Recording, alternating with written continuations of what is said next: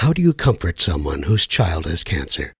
What are the magic words to take away the shock, the hurt, the devastation? If only there were some.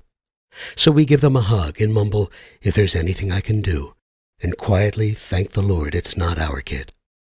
But there is something you can do. The Kisses for Kyle Foundation is a local nonprofit that gives cancer stricken families real help, like help with the rent or groceries, with car payments or travel, help with a wig, or funeral expenses.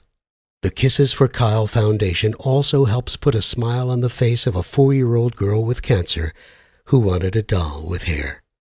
The Kisses for Kyle Foundation helps because they've been there too. So when cancer strikes a family you know or don't know, you don't need to fret. You just need to help. The Kisses for Kyle Foundation.